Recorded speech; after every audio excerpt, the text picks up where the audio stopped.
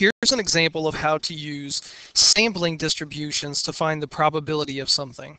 Well, there's a couple of things about sampling distributions that are true that we need to visit very quickly in order to use um, the properties of a sampling distribution. Um, first of all, we need to know that a sampling distribution takes on a normal shape so it's going to be bell-shaped and symmetric. Now, if we have a normal shape, there are a couple of things that we need in order to define a normal model. And those two things that we need to define the normal model are the mean and the standard deviation. If we're going to use a normal model, we have to know these two things in order to uh, in order to use it and define it. Well, when we have a sampling distribution, the mean of the sampling distribution, in this case I'm going to be working with proportions. So this, the notation here, let me rewrite this, make it look a little, little bit nicer. The mean of the sampling distribution for this proportion, so little subscript p hat there, is equal to the population mean. Okay, and in this case, the population mean is just p. All right the other thing that we need to know, the standard deviation of a population distribution for proportions um, is going to be equal to this. The standard deviation um, for p hat, or in other words, the standard deviation of a sampling distribution of proportions is equal to the square root of p times q all over n, our sample size.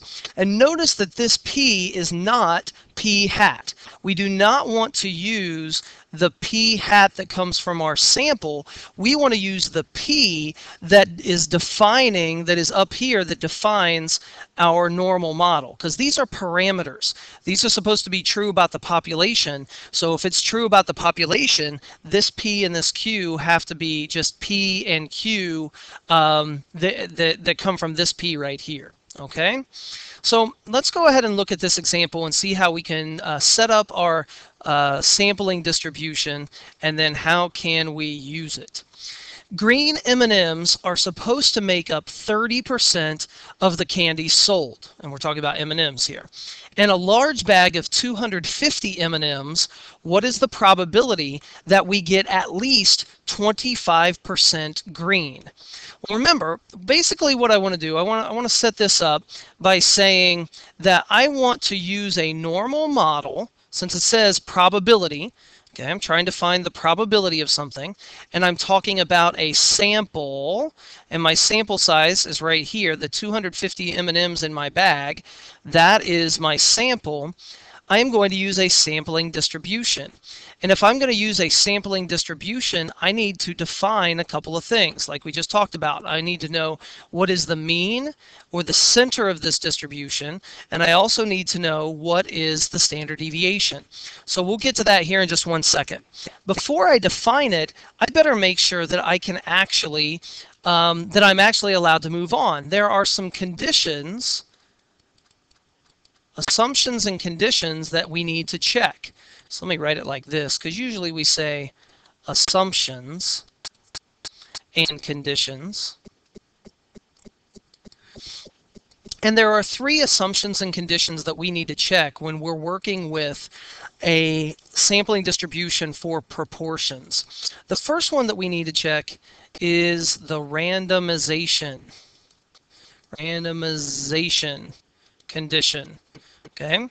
And the reason why the randomization condition is so important is because we want to make sure that our sample represents randomization. There it is. Uh, we want to make sure that our sample represents the population. Well, I don't know if these 250 M&Ms were randomly selected, but I am going to assume that they are. So I, I should say something like this. We assume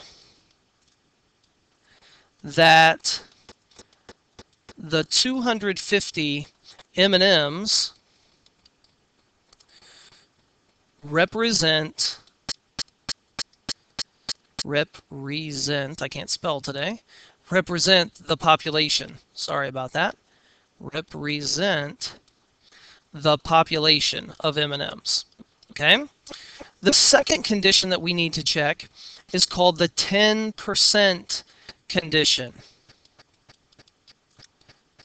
we need to make sure that our sample size is not more than 10% of the entire population. Because if it is more than 10% of the entire population, then we may run into some trouble with our probabilities not, or our trials not being independent. But in this case, 250, I would just write this, 250 M&Ms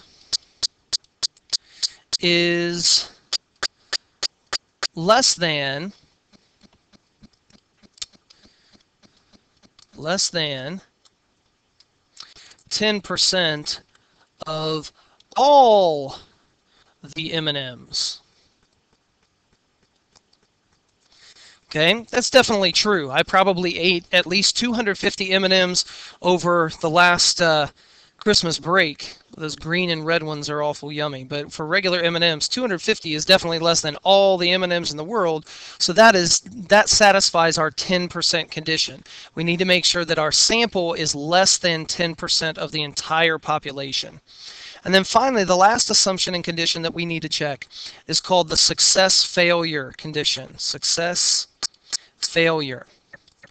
Even though we don't want our sample size to be too large, that's why we check the 10% condition, we still need it to be large enough so that we get at least 10 successes and at least 10 failures. And the way that we check that is with these two little formulas. We take n times p, and we want to make sure that that's greater than or equal to 10. And we also check n times q to make sure that that is greater than or equal to 10. So let's double check this.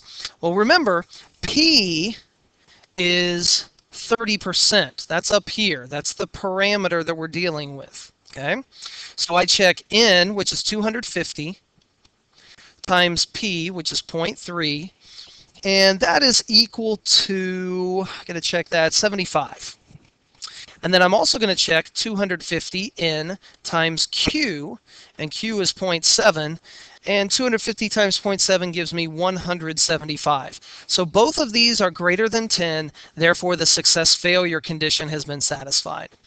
So now that all of my assumptions and conditions have been satisfied, I can use this normal model in order to find my probability. But before I use the normal model, I have to define two things. I have to define the model for p hat the model for my sampling distribution. The reason why we say p hat is because this is a model that comes from a sampling distribution.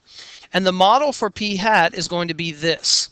n, because it's normal, and then my mean or the average of the proportions is equal to 0.3 or 0.30 because and the, and the reason that is true is because the center of a sampling distribution will always center itself around the population mean. And in this case, the population mean is 0.3. So the center of my distribution is also 0.3. Now I need to find my standard deviation. And I said before up here that the standard deviation for proportions, for a sampling distribution of proportions, is given by this formula, the square root of p times q over n. So let's go down here and find it do a little scratch work off to the side. The standard deviation of my sampling distribution is equal to P, which is 0.3, times Q, which is 0.7, all over N, and in this case, N is 250, and that is equal to 0.029, approximately 0.029. So now I can put that into my model, 0.029. Now that I have a, a, the parameters for a normal model, I can actually use it to find the area under, under a curve or anything else. So I am going to now use, I need to find a critical value here. And the formula for a critical value is this. Since I'm using proportions, I am going to use a normal distribution z. And the formula that I need looks like a z-score. p hat minus p all over the standard deviation of the sampling distribution. Sometimes that's called the margin of error, all of this. this. Well, that is equal to 0.3 times 0.7 all over my sample size, which is 250. It's just like finding a z-score. Whenever we find a z-score, this goes back. This should be review for most of you that are watching this. A z-score is our observed value minus the, or I shouldn't say it like that, but it's the um, sample value minus the parameter divided by the standard deviation. So that's really what I'm doing right here. The sample value is p hat, the parameter is p, and the standard deviation is given to us right here, the square root of 0.3 times 0.7 over 250. This formula is basically the same thing as this formula. They're almost exactly the same. Only here I'm dealing with um, a sampling distribution. All right, let me erase this, get it out of the way. And let's go ahead and find this. Well, my sample proportion, if I go back to my original question, was the one that I'm concerned with is 25%. I want to know what is the probability that we get at least 25%. So here we go. 0.25 minus p, the parameter, 0.3, all over the all over the standard deviation of my sampling distribution, which is 0.029 this is equal to negative 1.73. I've done the math ahead of time, so I don't need my calculator just yet. So here we go. I want to know, when I draw a picture of this, I want to know what is the probability that I get more than, was it more than or less than? I think it said more than. Yep, I get at least 25%. So that means greater than or equal to. So negative 1.73 is my critical value over here. And I want to know what is the probability that I get more than that. So I need to find the shaded region right here. Okay, since it says more than or it says at least. All right, now I jump to my calculators and I can go ahead and go with um, normal CDF. So I'm going to find the area of that shaded region. Since I'm using a normal model, I go second vars. Number two is my normal CDF calculator. And I'm going to go from negative 1.73 all the way to 99. And when I hit enter, I get 0.958. So the area that I have shaded here is 0.958. That tells me this. I'll go ahead and type this in as a complete sentence here. Let's see, right about here. now this is an important little phrase. According to the normal model, since I used a normal model, we need to say according to the normal model, the probability that our bag contains at least 25% green M&Ms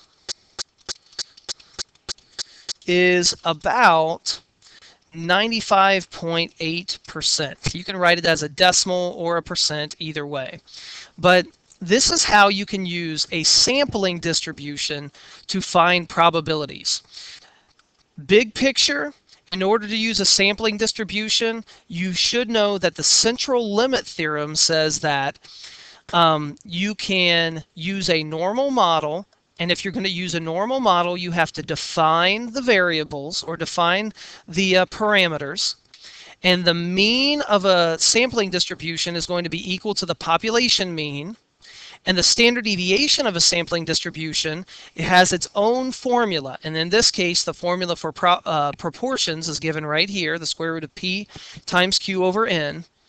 You always need to then check your assumptions and conditions to make sure that you can use a normal model. And once you find that, you can use it, and you can use it just like you would use the normal model with z-scores to find the probability of something. And I hope this helps and good luck in your stats class.